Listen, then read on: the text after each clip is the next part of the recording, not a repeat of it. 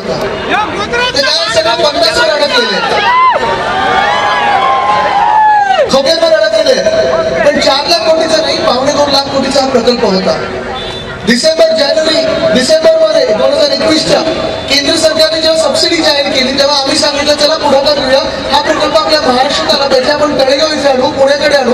कारण आमचं ते इंजिन चालवण्याचं गरज नव्हती. आम्ही त्यांना सांगितलं जिथे पाहिजे तिथे जा महाराष्ट्र तुम्ही नागपूरला जा संभाजीनगरला जा पुण्यात असा हट्ट हट्ट नसला की आमच्याच जिल्ह्यात या कारण सर्व महाराष्ट्र आपला आहे प्रत्येक जिल्हा आपला आहे प्रत्येक शहर आपलं प्रत्येक गाव आपलं आहे.